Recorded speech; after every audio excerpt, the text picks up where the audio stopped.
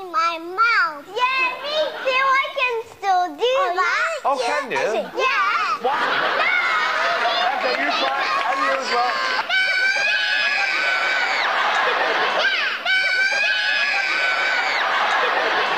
Uh, the troubles here on the uh, South Bank started earlier today.